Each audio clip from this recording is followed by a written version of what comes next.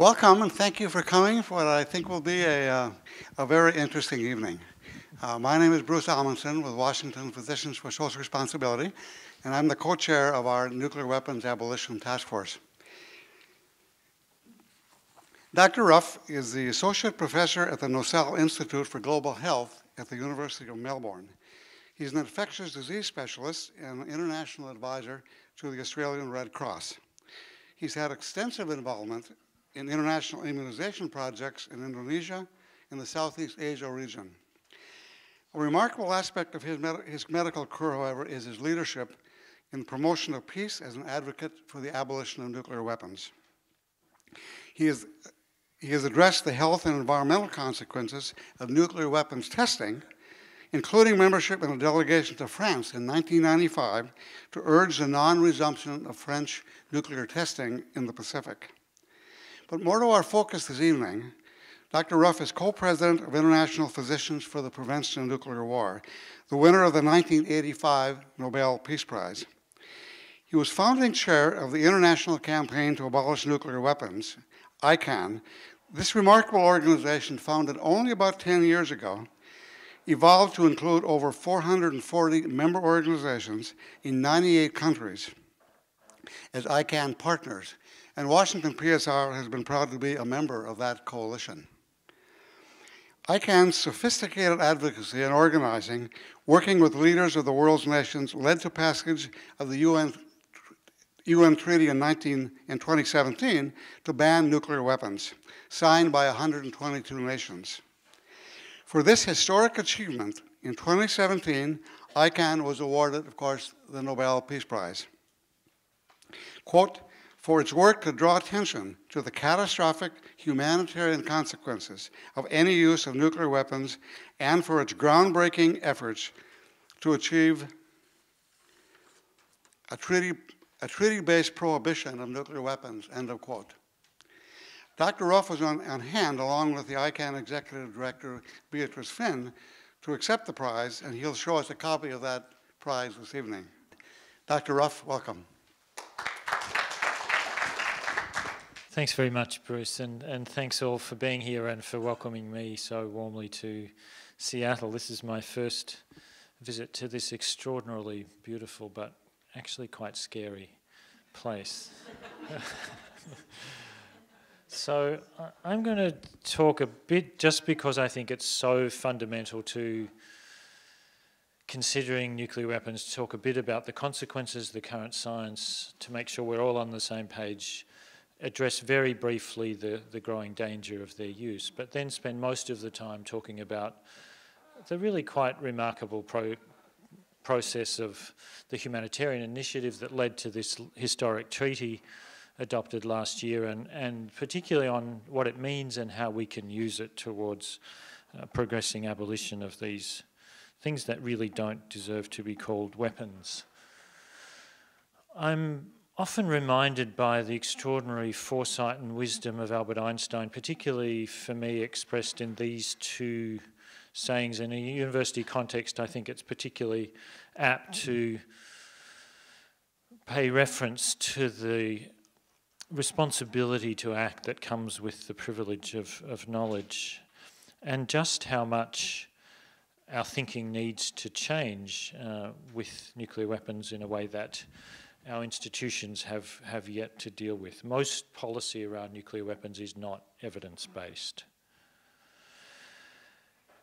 The current arsenals, if you dropped a Hiroshima-size bomb every two hours since the end of 1945, you would not have finished yet to reach the current global arsenal, even though, happily, 50,000 nuclear weapons have been dismantled. There's an extraordinary level of destruction embodied in those weapons. Particularly in Washington state, the home of Hanford, I think some reference to the things that put the nuclear in nuclear weapons is, is needed. Um, there are vast quantities of fissile materials globally, 1,340 tonnes of highly enriched uranium, 520 tonnes of separated plutonium and growing you need a handful of kilograms of, of plutonium or about three times as much HEU for a weapon. there's enough plutonium and highly enriched uranium in the civilian and military stockpiles to reconstitute the global nuclear arsenal more than 10 times over. Dealing with these, ending their production, keeping those that remain as secure as possible, eliminating them where possible, is going to be essential to achieving and sustaining a world free of nuclear weapons.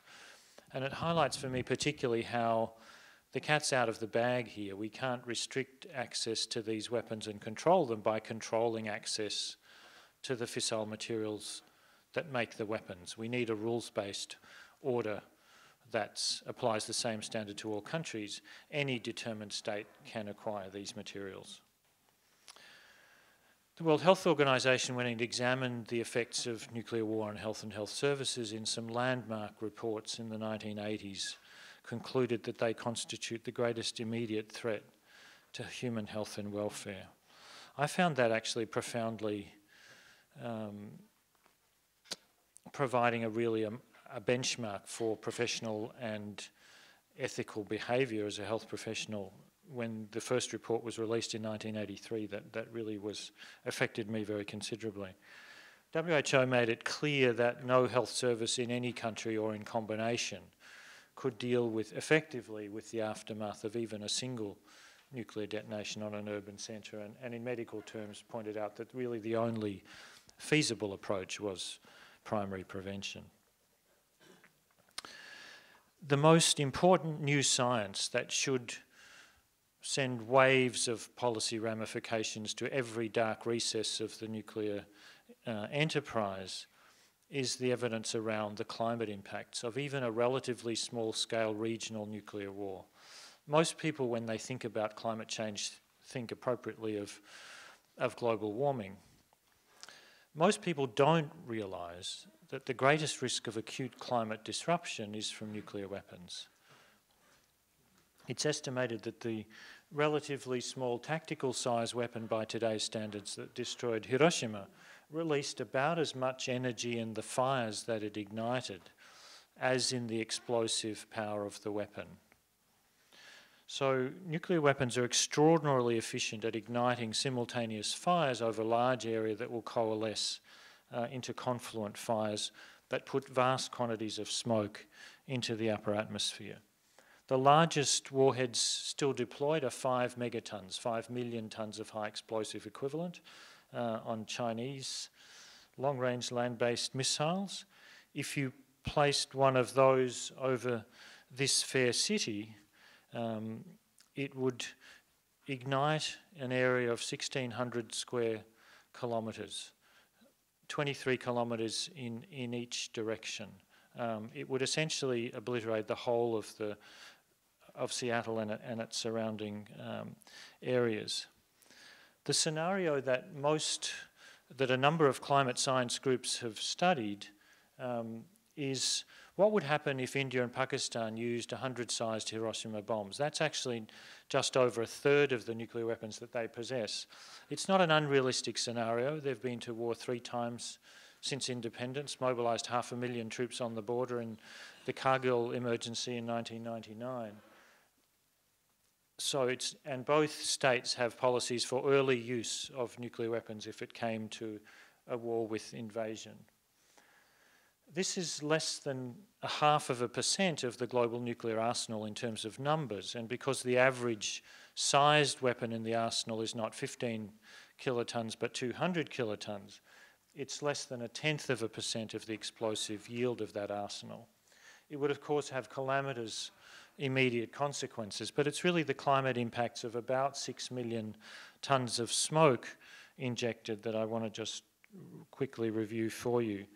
This is from Alan Robock's studies, which would show that within a matter of about 10 days or so, the smoke from such a war in South Asia would cover most of the inhabited regions of the planet. This is from Mike Mills at the National Center for Atmospheric Research in Boulder, Colorado. Um, a more sophisticated and recent model. This is as if you took a cross section through the atmosphere with the South Pole here, the equator in the middle, the North Pole here. The troposphere where our weather happens, there's clouds and rain and snow and particulate matter can get washed out. is here, less than 20 kilometres in height. Have a look what happens to the smoke that would be injected from burning cities ignited by nuclear weapons. Essentially, the smoke is very rapidly, within a matter of days, in the stratosphere, spreads poleward in both directions, and actually much of it goes well into the mesosphere, where this hot, this smoke would heat he'd be heated by sunlight so that the stratosphere and above would be around 50 to 80 degrees hotter than normal, while it would be colder, darker, and drier underneath. These impacts are not beneficial for agriculture. The modelling that's available to date, and there are some additional major studies underway that will produce results over the next couple of years to extend these findings. The current modelling looks at just colder, darker, drier, what does that do to major grain crops in the US and China, the two largest global producers? It doesn't address yet um, the other impacts on agriculture of loss of land to toxic chemical and radioactive contamination, um, the major increase in ultraviolet radiation from the drastic ozone depletion as a result of all that hot smoke in the stratosphere, and perhaps most importantly, the loss of all of the distribution and, and inputs that modern agriculture and trade in its products depends on fuel, seed, fertilizer, etc. And as you may have heard from Ira Helfand, who really pioneered this work, um, such a small, localized regional nuclear war would put billions of people at risk of starvation in proportion to their current food insecurity. Um, on the other side of the planet. To highlight just how existential is this threat and just how remote from reality are the current arsenals, consider the warheads on one of the submarines that are housed not too far from here. Those warheads, which each of which is between six and 30 times the size of the Hiroshima bomb, if targeted on the most fuel dense cities in the world, those in China, would produce not five or six million tons of smoke, the scenario I've shown you, but 23 million tons of smoke. Each of these is a climate catastrophe uh, in waiting. Let's put a perspective on this. This is the warming trend that is producing so much justified concern which would be more than rapid and very rapidly offset by a average cooling by about a degree and a half um, by the scenario that I've shown you. If just the long range weapons that the US and Russia have on high alert were targeted on cities, it would produce about 5 degrees average cooling, which is essentially average ice age conditions. If all of the long range weapons that Russia and the United States have now that New START is fully implemented as of earlier this year, it would produce cooling about twice that, about 10 degrees colder. It's very hard to imagine humanity surviving abrupt global cooling of that, of that magnitude. Um, even at, at this scale, agriculture at higher latitudes um, such as around the northern US and, and certainly Canada and northern Europe, would, would essentially cease. So many of those involved in these studies have, have drawn the conclusion that the theory of mutually assured destruction that underpins supposed deterrence theory amongst rational leaders um, is really not the reality. The reality is that any risk any use of nuclear weapons um, involves essentially gl global suicide risk. These are really global suicide bombs is the most appropriate um, conceptual analogy. Could this happen? Well, unfortunately things are not generally heading in a very positive direction with one important exception we'll come to later. None of the nuclear armed states are disarming. There is obviously promising discussions in relation to the Korean Peninsula that is extraordinarily welcome compared with the, the ratcheting, belligerent rhetoric that we heard just to, uh, less than a year ago. Um, but this has yet to be bedded down in any firm agreements that we can be confident will survive the vagaries of the individuals involved we're seeing even the limited constraints that we've hard won at the end of the Cold War that constrain um, particularly the two largest arsenals, Russia and the US, between them 92% of the world's nuclear weapons, um, being eroded. And worse than not fulfilling their legal obligation to disarm, all of the nuclear armed states are massively investing in not just retaining but what modernising these weapons, essentially planning new, more sophisticated and flexible, low yield, more accurate weapons um, that are really involve vast sums of money, 1.2 billion dollars just in the Obama administration um, envisaged expenditures over the next 30 years, even if you don't consider in the uh, the increases planned under the current administration.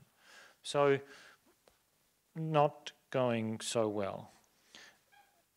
George Shultz and Mikhail Gorbachev in the New York Times last week really highlighted very sharply how hazardous and negative is the putting the INF Treaty at risk, which was really the signature treaty that started the end of the Cold War and, and the, the reductions um, in nuclear arsenals between Russia and the US that happened at that time.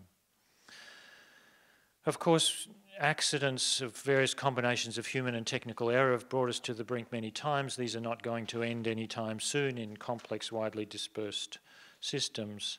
Um, as Daniel Ellsberg's eloquently documented in his remarkable book, The Doomsday Machine, all of the nuclear armed states have considered first use of nuclear weapons on repeated occasions. He documents 25 instances when the US um, actively let it be known that nuclear use was, was on the table.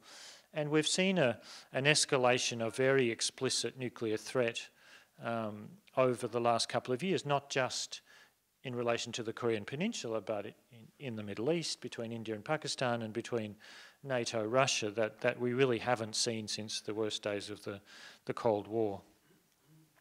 So most of those who've been around managing nuclear weapons in the past um, really conclude that, that the current danger of nuclear weapons being used is probably as great as it's ever been. Um, Mikhail Gorbachev continuing to, to be very clear and outspoken on this. The Bulletin of the Atomic Scientists, the 15 Nobel laureates on its board of sponsors, the custodians of the doomsday clock, this year, you'll, be, you'll probably know, moved their hands forward to two minutes to midnight. The only other time they've been that far forward was in 1953, shortly after the US, rapidly followed by Russia, um, tested thermonuclear weapons. Antonio Guterres, UN Secretary General, in a major report on his disarmament plans for his tenure, used some pretty blunt language about um, how dangerous are the times that we live in and essentially what looks like a resumed Cold War.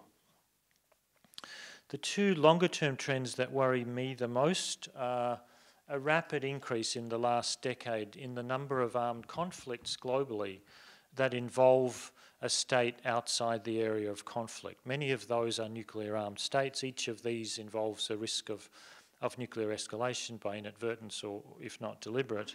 Um, this is, I think, pr principally driven by the reality of climate disruption food and water insecurity, population displacements really starting to bite. A climate stressed world is not a safer place to have nuclear weapons. And the other trend is this ungovernable morass of cyber technology used for malevolent purposes available to non state actors as well as states with now multiple precedents for private entities, public entities, banks, um, as well as nuclear systems being the subjects of attack. Even the computers of the US National Security Agency were extensively hacked late last year. So, disarmament. I think it's useful to remind ourselves of just how deep and consistent is the will of the international community since, in every expression since the end of the, the Second World War, to eliminate these, these heinous weapons. The very first resolution of, of the UN General Assembly in, in January 1946 called on the elimination um, of atomic weapons. The NPT, the Non Proliferation Treaty, which all countries bar North Korea, India, Pakistan, and Israel have signed, um, enshrines a legally binding commitment on all states, not just the nuclear armed, actually, to negotiate in good faith towards disarmament.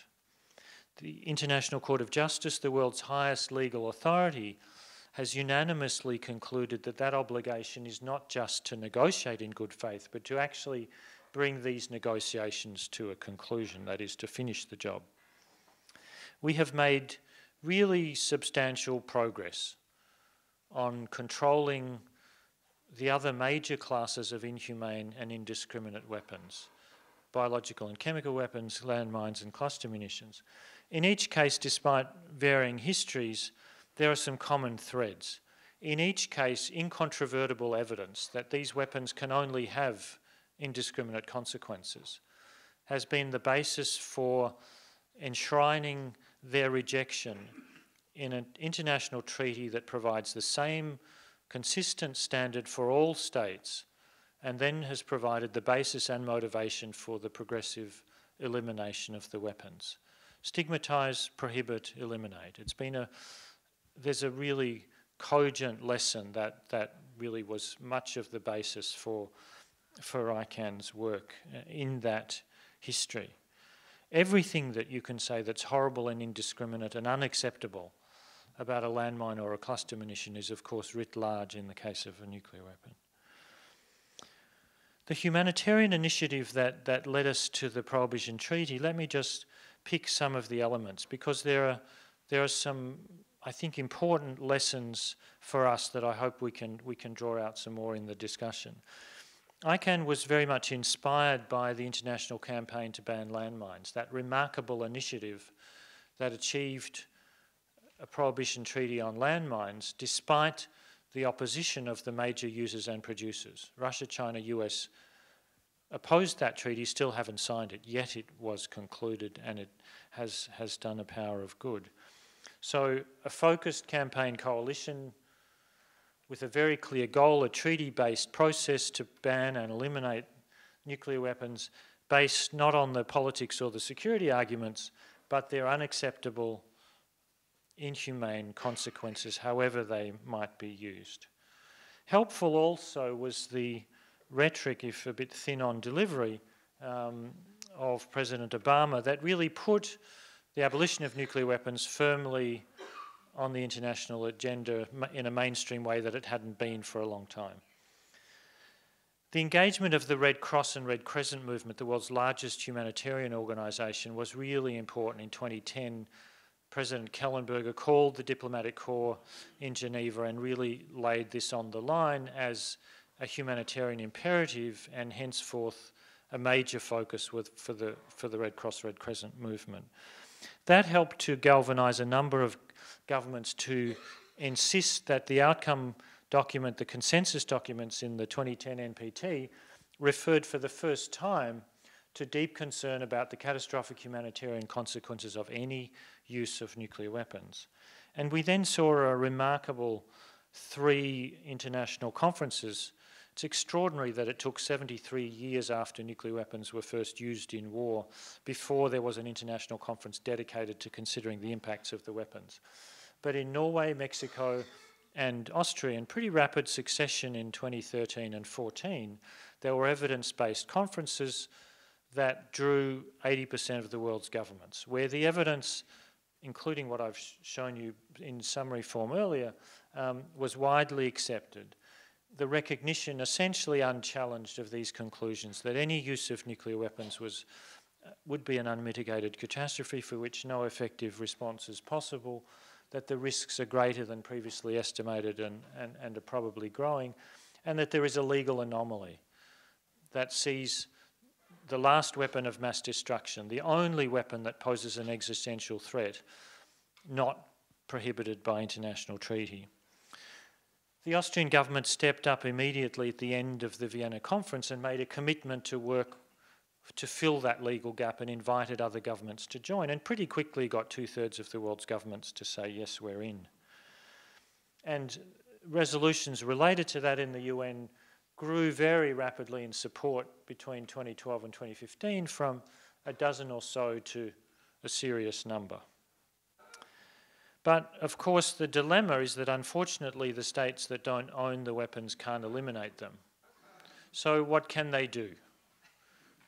You know, what's the. And there were an important process in over these years in getting building international consensus that the next best step that most of the world that's sick of the failure of disarmament progress can do is to ban the weapon. I'm happy to say that one of the things I'm most proud of about that process was the very productive collaboration. Public health is a lot about coalition building, making your business other people's business. And, um, and we were able to build a very effective coalition involving the major peak international health federations. World Medical Association, International Council of Nurses, the World Federation of Public Health Associations, singing together from the same hymn sheet with IPPNW in repeated submissions, working papers, oral testimony, and commentary. Um, in the working group before the negotiations, the General Assembly, and the negotiations, speaking about the planetary health imperative to get rid of these weapons with one voice. I'm really proud that some of the language of those submissions is in that treaty. So the mandate that the UN adopted at the end of 2016 by a vote of over three to one was pretty ambitious new treaty, kick the can down the road towards elimination as far as you can. And by the way, you've only got, you'll all turn into pumpkins if you haven't finished by 7th of July, and you've only got four weeks of negotiations to do it. It's pretty serious marching orders. It was very ably chaired by really an angel of this process, uh, Ambassador Elayne Whyte Gómez from Costa Rica. Um, we had remarkable, you'll recognise Ira Helfand and Alan Robock, although the projection's a bit dark. We had remarkable access. This was unlike any other disarmament negotiation in many respects, but including the respect for evidence and the, and the way that we could present the evidence to the diplomats even during the negotiations. Um, really quite, quite remarkable.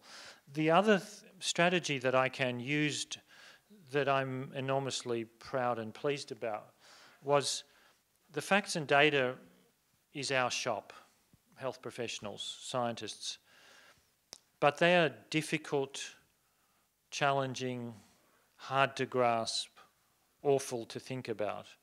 What can make this real is the lived human stories of the survivors of Hiroshima and Nagasaki, the survivors of nuclear testing around the world, for whom nuclear weapons are not some abstract great power chess game of parity and balance, but a lived daily reality of indiscriminate suffering and loss and discrimination and ill health across generations. They were powerful. This is courageous work to do, and um, for, because of their presence, this treaty the, is the first disarmament treaty to recognise the disproportionate impact of nuclear weapons on Indigenous people. So when it came to the vote, um, as you know, it was spectacularly um, overwhelming for the adoption of, of the text. Um, basically, all of the rest of the world, except for the nine nuclear armed states and the 30 odd states that claim to rely on US nuclear weapons through NATO or separate agreements for Japan, South Korea, and Australia, stayed away. And in the normally very formal proceedings of the the UN, this was a pretty emotional and historic moment. Um, Setsuko Thurlow, the Hiroshima survivor who played such a crucial role and co-accepted the Nobel Peace Prize for ICAN. All of the diplomats that I've ever heard say anything about this say this would not have happened without civil society. We should all take enormous pride and encouragement from that. So nuclear weapons are on the way to becoming on the same unacceptable legal footing as those other indiscriminate weapons. The treaty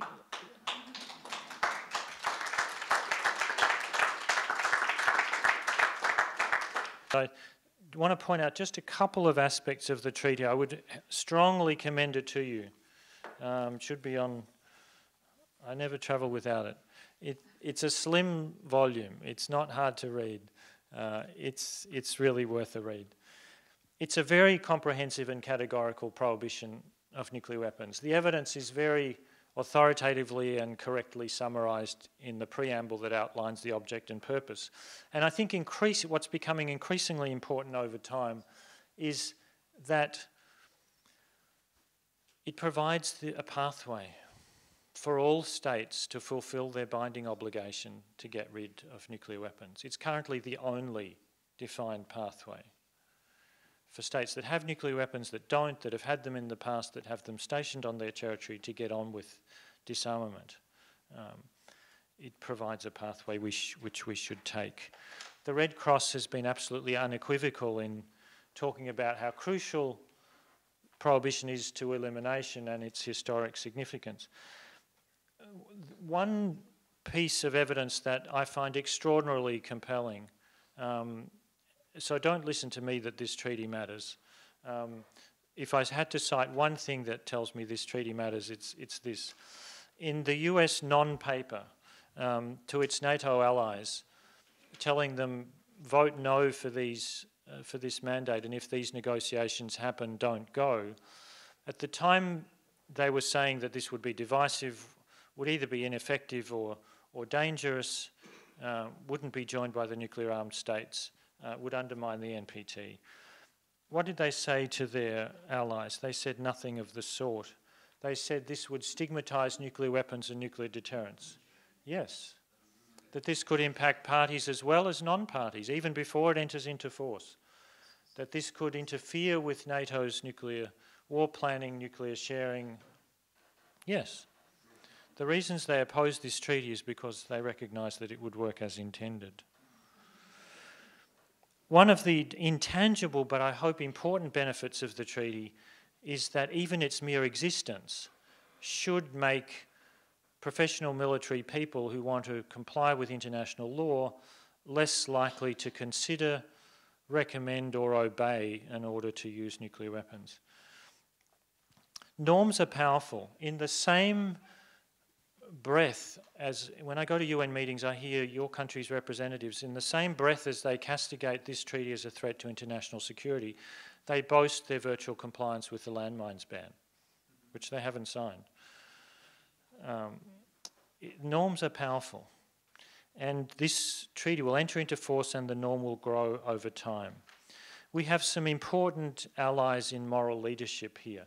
Um, the Red Cross and Red Crescent movement really out in front on this, with enormous credibility and access to governments. Some faith leaders, particularly Pope Francis, making it clear that even possession of nuclear weapons is unacceptable morally. The Red Cross being unequivocal in its call for all states to join this treaty. The World Medical Association a couple of weeks ago making a similar call that all states should join this treaty and all national medical associations should push for that and educate their publics and governments um, about the need to ban and eliminate nuclear weapons. We're seeing cities and states, including one large one not too far south of here, saying some very positive things about even though it's not formally within their jurisdiction, these are important expressions of, of will that have political and moral force. We're already seeing money starting to move, um, even before the treaty enters into force. The world's largest sovereign wealth fund, Europe's largest pension fund, some large banks, Deutsche Bank as well as some smaller ones, on the basis of the humanitarian considerations and the treaty, are saying we're out of investments in companies that make nuclear weapons. This has enormous potential for divestment that is accessible to, to everybody. Um, at my university, we have a research collaboration, I regret to, to tell you, with Lockheed Martin. I'm sure many universities in this country have research collaborations with nuclear armed companies. Universities should not be collaborating in research on weapons of mass destruction that are jeopardize, that are existential threats and that are prohibited now by an international treaty. The back from the brink campaign that, that PSR has played a crucial role in that puts the abolition of nuclear weapons firmly as the goal, but with some important feasible steps to reduce the danger. I was really impressed when I was in Boston at how much resonance this seems to be having with, with civil society partners and, and also galvanising the, the physicians' movement. We have had profound influence in the past. We had a major role in the ending of the Cold War, uh, the INF and the other treaties that accompanied that. The Reagan and Gorbachev recognition of just how existential was the threat that nuclear weapons pose. Um, they're saying very clearly, Gorbachev, about how this, how much of a contribution health evidence-based advocacy made. Um, his specific um, comments about IPPNW, uh, really compelling reading. If you doubt ever the power about organised global health activity based on evidence, using our access and authority to influence policy, um, two, the two Nobel Peace Prizes that, that um, uh, Bruce mentioned, IPPNW's and ICAN's recent one, are, are remarkably consistent. Um, both highlight the importance of evidence and communicating it publicly um, as a way of driving policy. Um, and ICAN's prize similarly. This should give enormous encouragement to all of us. Um, I'm happy to bring a medal with me, you're very welcome to enjoy it and uh, take photographs of it or with it. Um, it's yours as much as anybody's. Um, the question that we asked in a New England Journal piece recently, for me, encapsulates the existential dilemma that, that we face. Will it be the end of nuclear weapons or the end of us? It will be one of those. We all have a significant responsibility and can play a major role in making sure that the answer to that question is the right one. Thanks very much.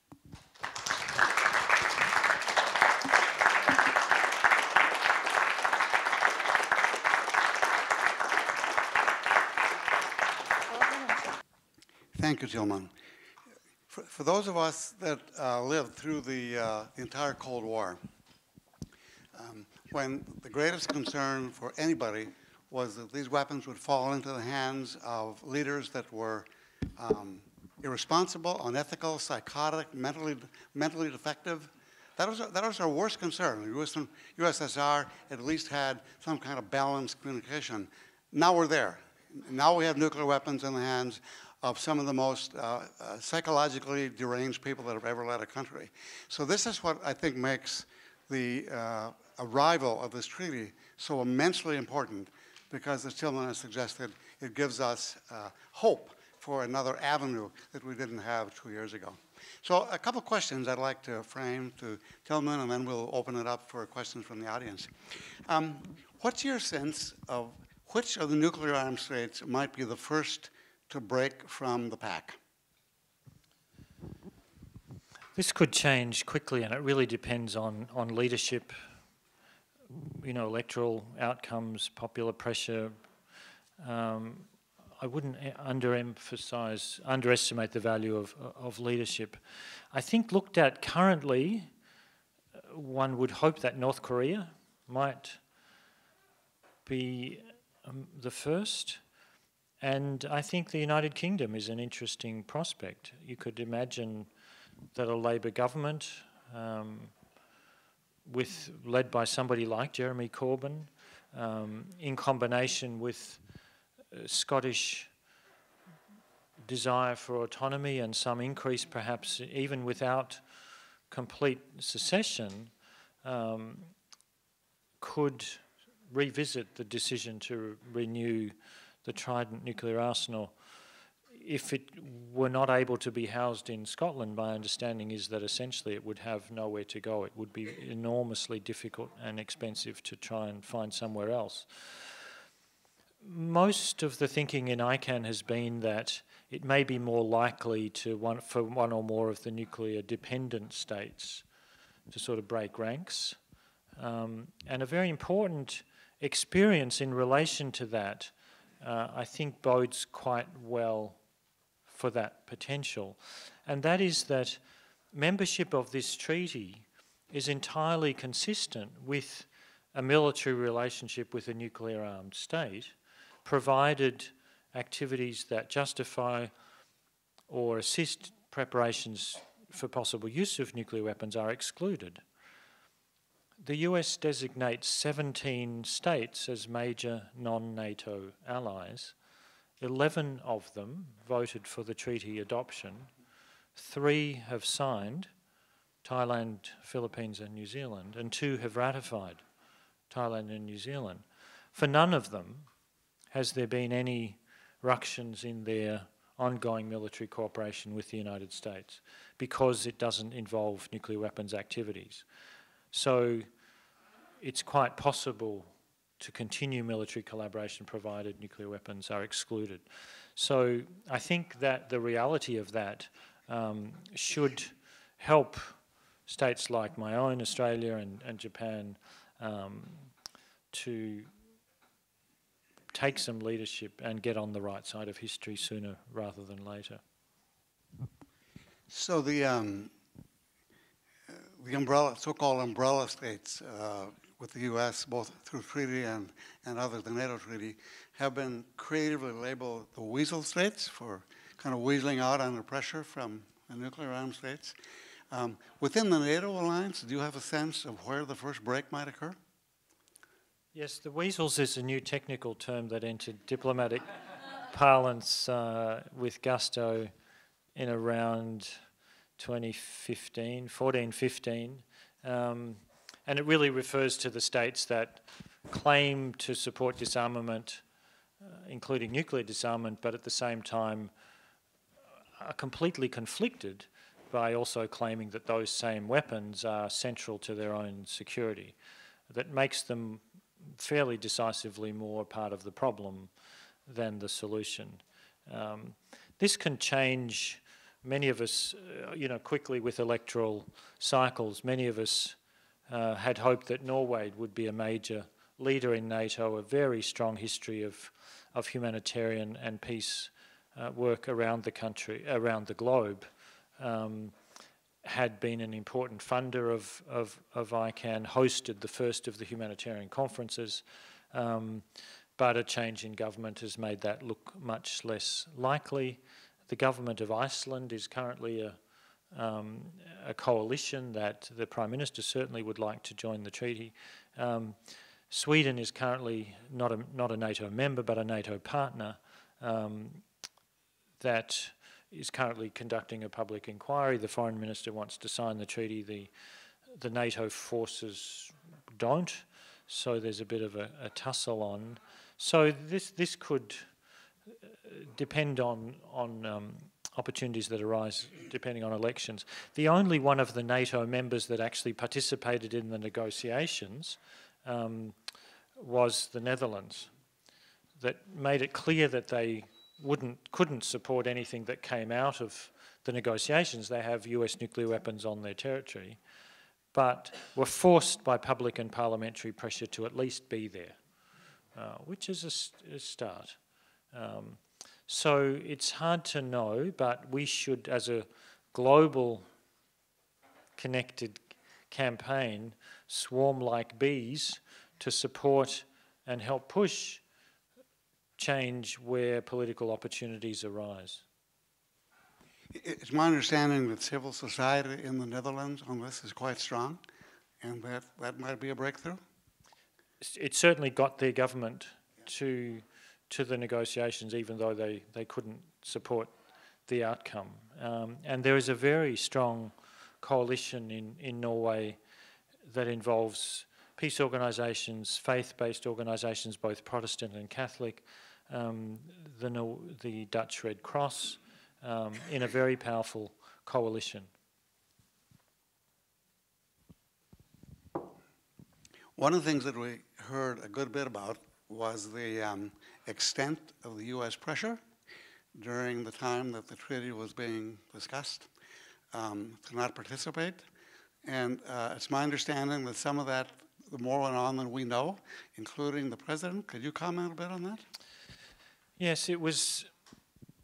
It was strong pressure, um, and it wasn't all of the nuclear-armed states that that were pressuring states not to support the negotiations and then not to vote for the treaty and now not to sign it. Um, but it was particularly fierce from the US, France, UK, and Russia. China was much more conciliatory. Um, at one stage, even let it be known that they were considering joining the negotiations. Um, and as far as we know, haven't been putting pressure on any states not to, not to support this process. Um, much of this is not entered the public domain, um, but the South African ambassador, shortly after the vote when the treaty was adopted, spoke very uh, strongly about what she called the fierce pressure that African states had come under um, not to, to The support this treaty.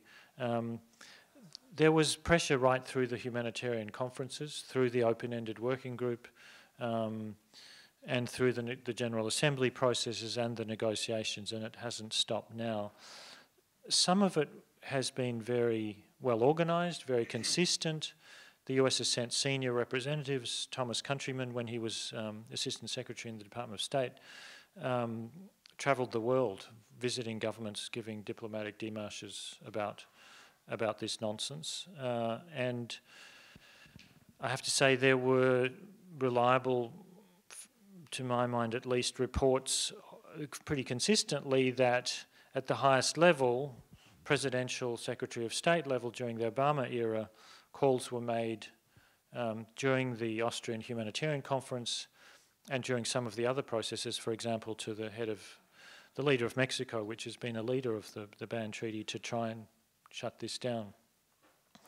The US had was reported to have 12 Department of State officials at the 2016 General Assembly, specifically to try and avoid a successful vote on, on the treaty negotiations. Some of this pressure has, what little is known publicly suggests that some of it is, is fairly unsavoury. Um, uh, for example, I, I, I know that the country that happens to be the poorest in Southeast Asia and the most heavily landmined country on earth, Laos, um, most of the landmines in Laos were US landmines. The US threatened cessation of funding for demining if Laos voted for the ne- treaty negotiations. That's just one small example that I'm aware of, but there was clearly very fierce pressure, and it had some effect. I mean, there were 12 African states who would have been expected to, to vote for the treaty who didn't. Um, and in each region, there were some states that unexpectedly stayed away or, or abstained as a result of pressure. But because the forum chosen, crucially, was the General Assembly, where if consensus can't be reached, a two thirds majority can make a decision, um, that pressure was not sufficient to dis- derail the process. But that pressure is ongoing uh, on states not to sign, not to sign the treaty. But happily, most of the states that have signed have um, reported that once they've signed, the pressure has let off. So for countries that are concerned about the pressure they're getting, the, the message is sign quickly and get it, be done with it. I think a really distressing thing for me talking to uh, Tilman earlier in the day uh, was the information that, that leaked out that actually President Obama himself was on the phone to presidents of other countries like Mexico, urging them not to participate. I, I don't think I heard that. I don't think I knew that. Uh, and given uh, the uh, sort of respect and, and uh, recognition he's given for his declaration to move the U.S. to abolish nuclear weapons, the duplicity of that, I think, is really quite distressing. Yes, it is. Um, but it does highlight that this treaty matters, that establishing an international norm is powerful. It puts the nuclear armed states on the defensive, it puts them on, on notice. They can no longer claim that, that through you know, selective interpretation of the International Court of Justice advisory opinion that, that couldn't unequivocally conclude that use of nuclear weapons under any circumstances would be contrary to international law. Um, this, these sort of loopholes have been firmly closed now uh, by, by this treaty, and, and the nuclear armed states are challenged. You know, you don't get political change without discomfort and pressure and you know, some accentuation of divisions, um, at least initially. That's crucial to progress. Uh, so that gives me great comfort that this treaty matters, and it will matter even more as more states sign and ratify, as it enters into force, as states are then obliged to reflect their treaty obligations in domestic legislation, for example, making involvement in nuclear weapons activities criminal for anybody subject to their legal jurisdiction, um, promote the treaty in their diplomacy, meetings of states parties happen regularly to promote the treaty implementation. Um, each of these steps will, will increase the, the normative pressure. And of course, it's up to civil society to make sure that that, that pressure linked with the evidence that, that these weapons don't increase anybody's security. They only make you a target for everybody else's nuclear weapons and, and jeopardize everybody's security. Um, that this will help progress elimination. So 50 states are required to sign it uh, for it to be ratified. Um, we're at what, 19 now? So it needs um, 50 states to, to ratify, yes, or exceed or, or accept it. Uh, there are a variety of legal ways that states can do this. Currently, 69 have signed and 19 have ratified. These things take time. There are constitutionally mandated processes in every state that, that often take considerable time and parliamentary and, and, and other processes. Um, that's faster than at one year than the ratifications that were achieved for the Comprehensive Test Ban Treaty, the NPT, the Chemical or Biological Weapons Conventions. It's slower than the cluster munitions or landmines bans, um, but it's reasonable progress, and I would be confident that this treaty would enter into force next year. Really? One more here. Um, uh, changing the subject for a minute, you mentioned the international, the uh, uh, INF treaty. Um, if President Trump proceeds, as it looks like he is, to uh, pull out of that, what are what are your major concerns? What do you see as the domino effect from that, Attila? I think it's of profound concern to not only not be negotiating new agreements, but unraveling the constraints that exist. It would really, um, you know, those who negotiated that treaty, and most of the technical experts that are independent say that that the allegations that both sides have made about breaches of, of their treaty obligations can be readily addressed through consultation. And there is actually a mechanism, a special verification commission, which has passed its sunset clause but could be easily reactivated um, to re-invoke the on-site inspections that, that were crucial to the successful and timely elimination of 2,692 intermediate range missiles before 5th of June 1991. So I think to erode these, it's really thumbing the nose at any kind of constraints um, on nuclear weapons. It will, I think, inevitably accelerate an arms race a new Cold War that we're essentially already in, uh, and profoundly increase the dangers of, of nuclear war, which was the reason why those missiles in Europe, SS-20s and the cruise and Pershing missiles, that I'm sure many of you remember, aroused so much public concern around the world um, that played a major role in, in that landmark treaty. Uh, hi, I'm David uh, Bergen. I'm just a member of the public. Um, I understand that the uh, United States is is currently trying to fund um, completely replacing the nuclear triad, including uh, submarine ballistic missiles. Um, and I've heard numbers like 500 billion per per serv per military service.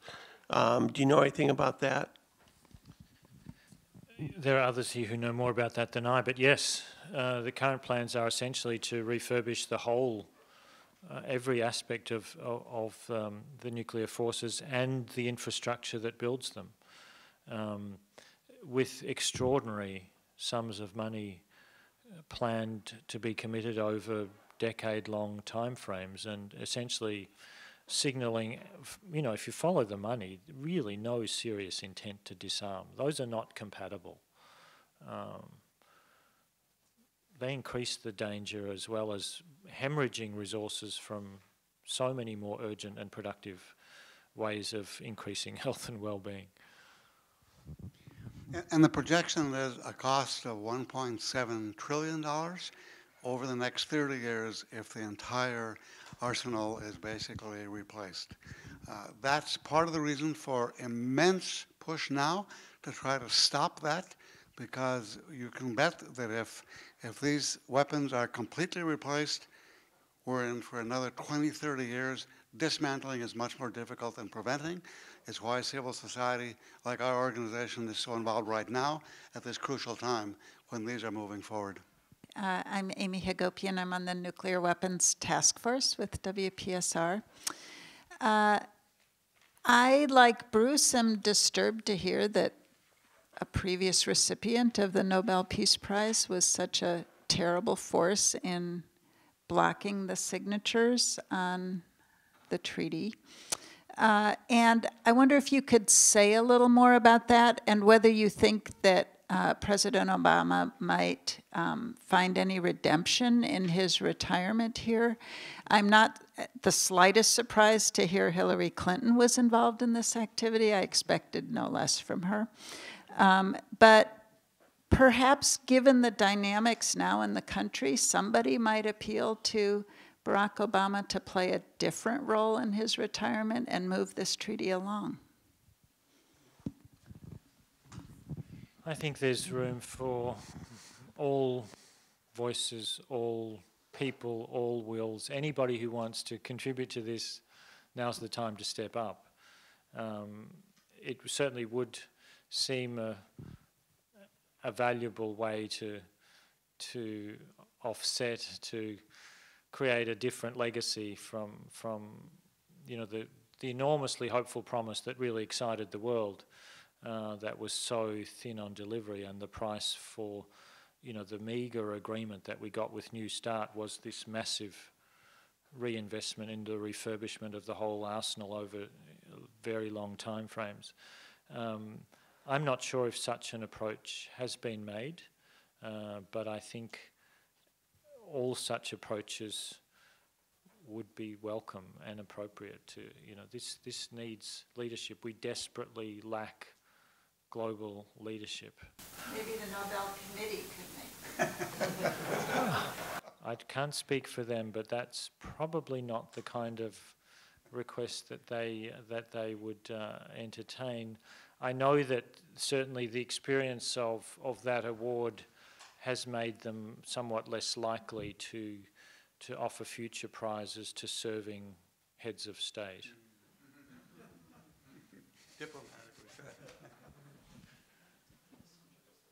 The prize is always a balance between a mix of encouragement and recognition. That was an encouragement award almost purely.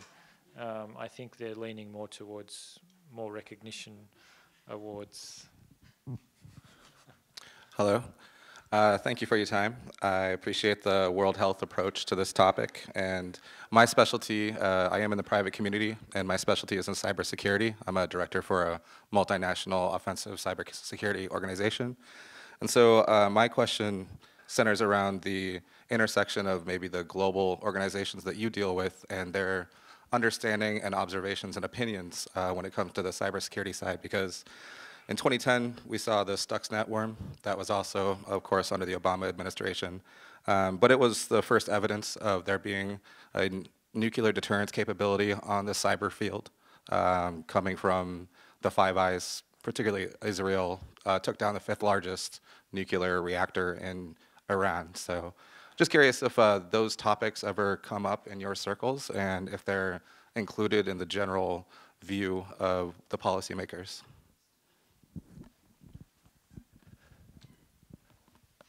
They certainly didn't come up in specifically in any form in the, the negotiations for the treaty and are not referred to. But I think the general development of, of cyber technology and its malevolent use on repeated occasions since since that that landmark um, intervention you know, almost certainly by the US and Israel, as I understand, and you've, you've suggested, um, bodes ill for controlling nuclear risks when you have very dispersed, very complex uh, command and control and early warning systems that are that are vulnerable and acknowledged to be so by th those who know them. So I think the confluence of of cyber attack potential, um, particularly if combined with emerging artificial intelligence capabilities plus nuclear weapons, I mean, any intersection between those things has got to be an extraordinarily dangerous development and really accelerate the urgency of, of dealing with these weapons uh, before, in a climate stressed world where armed conflict is likely to get more frequent and not less, um, including between nuclear armed states, makes uh, eliminating the weapons and reducing the likelihood of their use in the meantime all the more crucial and urgent. We, time is not on our side here.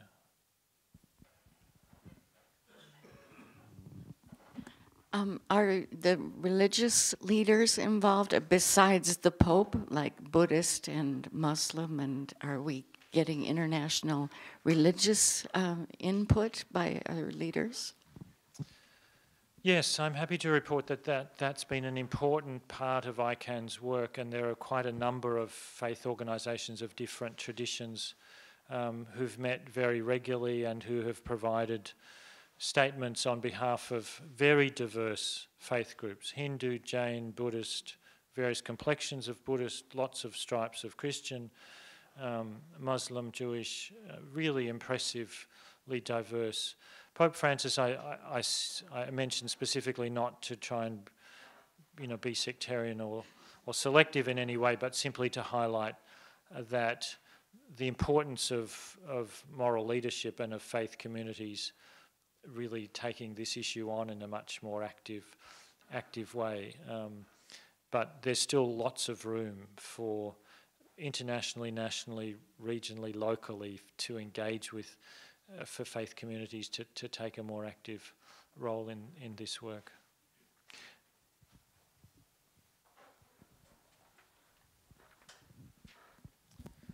Hi. So I was intrigued by your uh, discussion of the use of norm to um, prevent the proliferation of nuclear weapons. And I was wondering if you could uh, discuss a little more how effective you think that'll be. Um, we've had uh, chemical, ban uh, chemical weapons ban, biological weapons bans for decades now, but there has been a recent spate in usage in Syria, potentially in the UK. So I was wondering if you see if that's going to be a really effective use, or is that kind of like something that is maybe moderately useful in the future um, in this kind of not proliferation?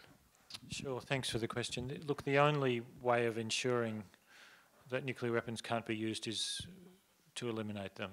I mean, that, that, that, that's clear. While they exist, there's a, there's a possibility of their use. But norms, I we have to use the tools that are available to us. And, and, and this treaty, I think, is very important at following those lessons of history of those other treaties. I mentioned the, the US boasting its virtual compliance with a treaty that it opposed and hasn't signed as an example. And I think another one, despite the, the fact that there have been use of chemical weapons in a number of recent instances, as you mentioned, um, that in general, um, the use of chemical weapons has been stigmatized to the extent that when it was proven by the Organisation on the Prohibition of Chemical Weapons. In 2013 that chemical weapons had been used in Syria, not a party to the Chemical Weapons Convention. The US and Russia, at a very testy time in their relationship with disagreements about Crimea and about uh, Syria, agreed within virtually 24 hours that Syria needed to be forced to join the Chemical Weapons Convention and despite the chaos of the war, Syria was successfully disarmed of 1,260 tons of chemical weapons, which were removed and destroyed um, under Norwegian jurisdiction. That obviously hasn't solved the problem because the precursor materials, particularly when you're using mainly chlorine, uh, bombs are, are, fairly widely available and can be imported again. Um, so that hasn't decisively dealt with the problem, but it has made it far smaller than it could have been if, if those stockpiles remain. So I think in that instance as well, the power of the norm was invoked. Um, the treaty wasn't specifically mentioned actually by President Obama at the time. It was the norm um, against chemical weapons use because Syria wasn't a party to the convention. So I think these norms are very influential. The US doesn't produce cluster munitions anymore. Landmines are only deployed in the demilitarized zone in Korea, where the Koreans are busy removing them now happily. This is, these are important influences. Most financial institutions that have any socially responsible investment policies include chemical weapons, landmines, and cluster munitions amongst their prohibited prescribed investments because they're prohibited by international treaty. So these norms is not the definitive solution, but it's a really important step uh, to progress elimination and try and reduce the likelihood of the weapons being used in the meantime. And we should use all of the means at our disposals to, to strengthen that norm. Hello, thank you for all the facts that you've given us. Um, in the economic side of things, um, this may be a, a rather practical um, way of looking at things. Um, you said that uh, Deutsche Bank and the Belgian banks has been, they have been um, divesting from um, any countries that um, uh, have still have nuclear weapons. Um, maybe uh, companies, com companies sorry, rather than companies. countries. Yeah. Yes. So maybe, uh, in a sense, if we appeal to companies that they can reuse the plutonium then maybe they will have a bigger um, motivation to um, disarm, for that country to disarm. So, for example, um, U.S. has been, has been buying um, plutonium from Russia uh, for our nuclear uh, plants. Um, I'm not sure if this audience or you yourself uh, is uh, in any way for uh, nuclear plants uh, using nuclear power uh, for electricity. But, but that is a practical way of looking at things. Um, and maybe that will sway the, the um, economic side of things one way or another. Yeah, that, that agreement uh, between Russia and, and uh, the US was for highly enriched uranium to be down blended to reactor grade uranium, which produced about half the nuclear energy, half the nuclear electricity generated in the, in the United States over a decade long period, roughly. That agreement has not been renewed, so it's now discontinued. we can argue about, about the merits of doing that. It's certainly preferable to have um, the products of highly enriched uranium in radioactive waste, which has to be managed then in weapons. Um, but I think from a public health point of view, I'd certainly want to argue that it's best in neither.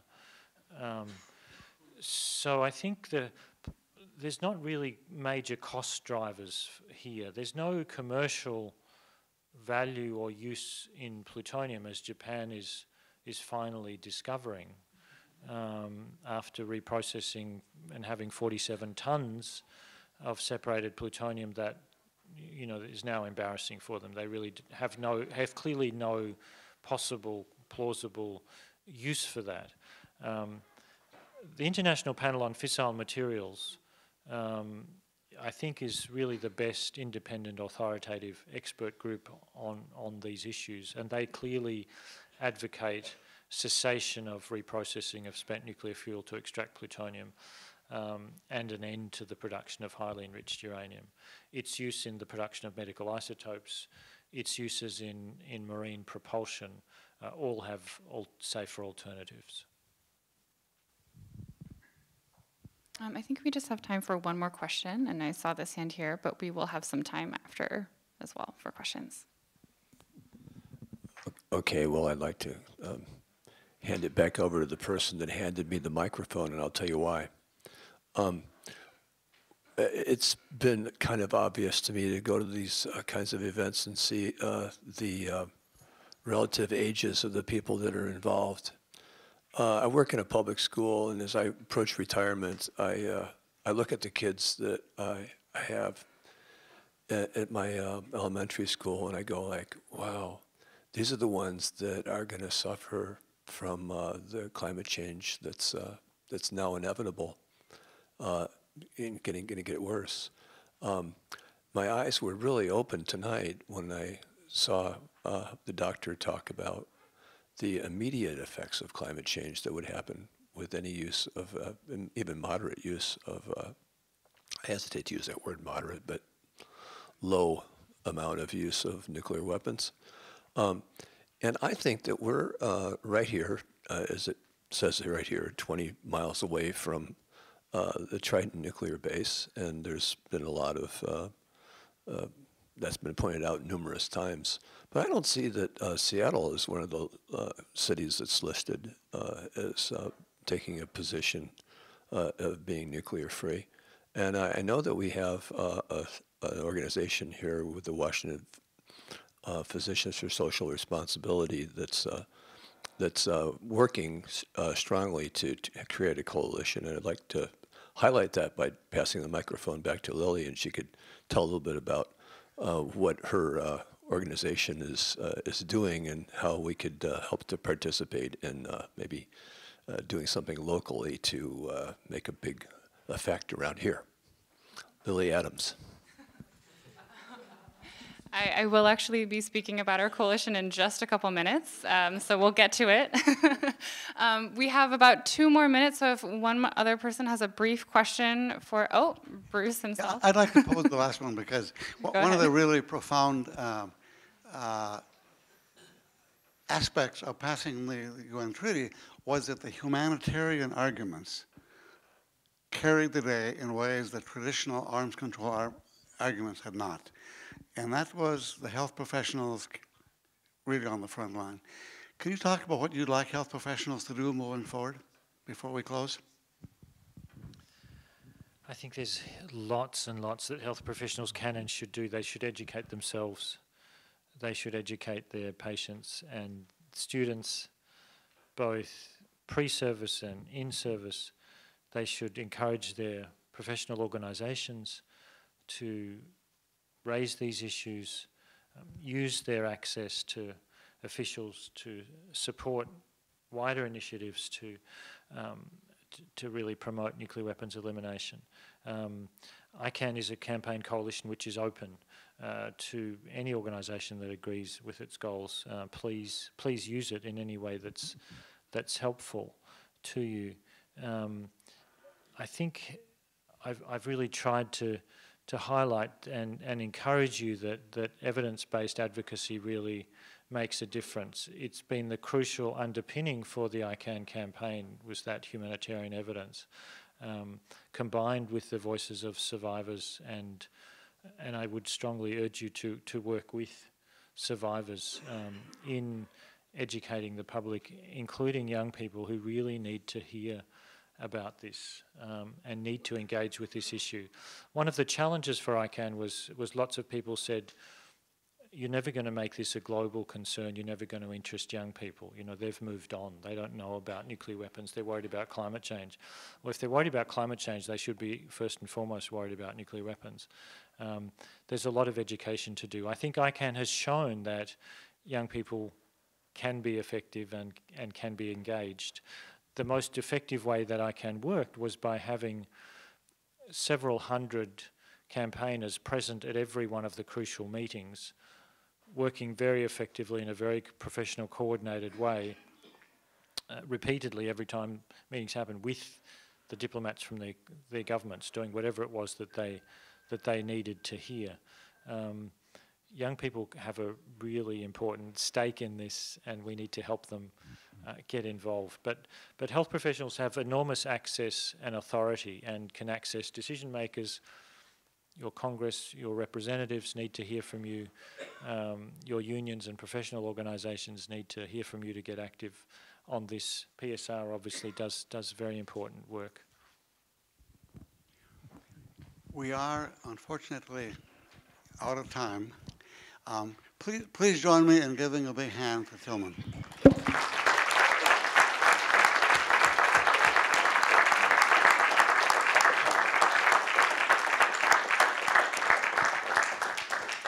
Um, I, I'd just like to say that, um, first of all, I'd like to give uh, uh, a thank you to Lily and to Laura and to Marcel, who did a huge amount of work in helping to organize this evening. So please give them a hand as well.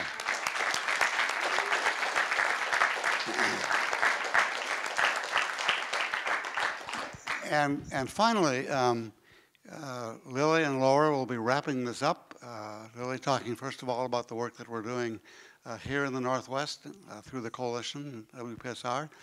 Um, Tilman and I are going to take our leave. Uh, he is on a really um, amazing tour of the West Coast cities uh, for this series of lectures. He's catching a plane tonight, and he and I will go to the airport when you folks wrap this up. So thanks very much for coming.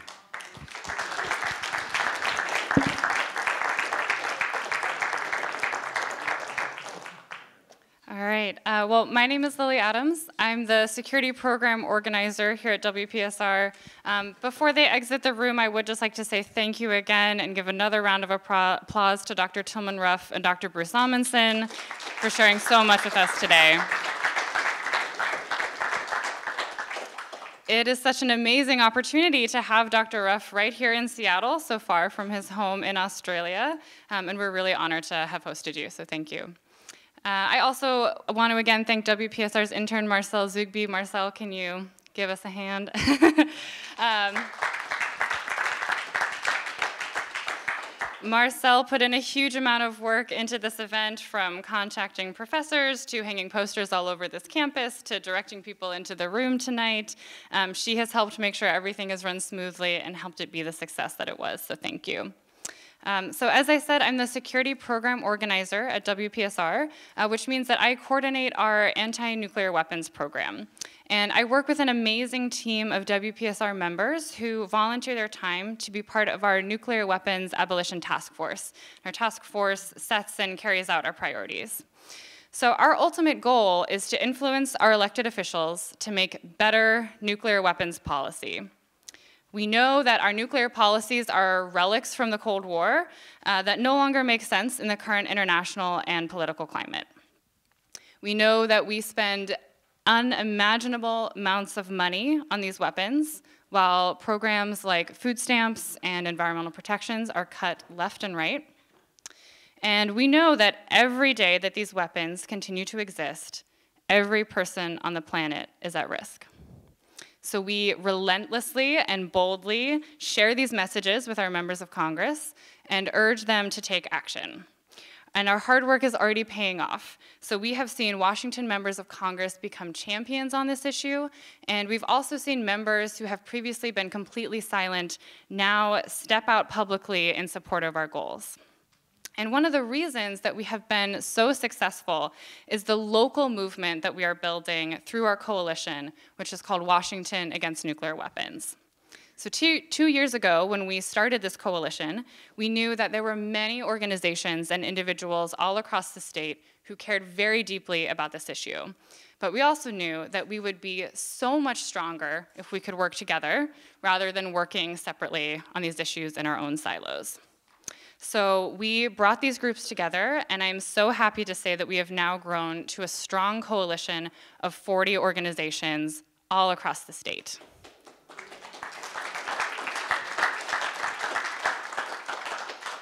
So we represent diverse constituencies. We are traditional peace groups, but also faith leaders, labor unions, educators, environmentalists, and social justice organizations. And we have members in almost every single congressional district. And this has tremendously strengthened our work with members of Congress because they can now see that their constituents and their voters also deeply care about this issue and want them to take action. Um, and our coalition, Washington Against Nuclear Weapons, is one of the only statewide anti-nuclear weapons coalitions in the country. And that makes Washington State, right here, a leader and a model for groups all across the country.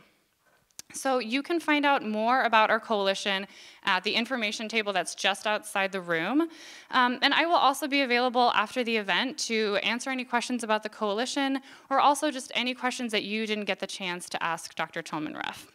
Um, and with that, I would just like to turn it over to our wonderful executive director, Laura Skelton, to share some final words about our organization.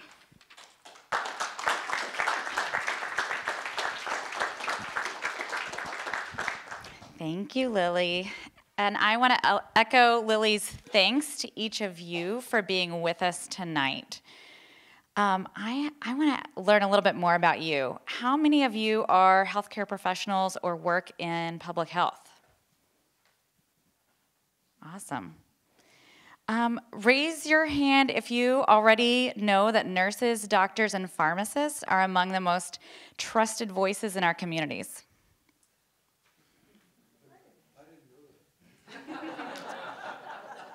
Now you do. Who here today is concerned about how nuclear weapons, climate change, and economic inequity can affect health? That's everybody. Well, if you raised your hands to any of these questions, I want you to know there's something important you can do aside from coming tonight. You can join us. Washington Physicians for Social Responsibility leverages the trusted voices of healthcare professionals to work for better nuclear, climate, and economic policies.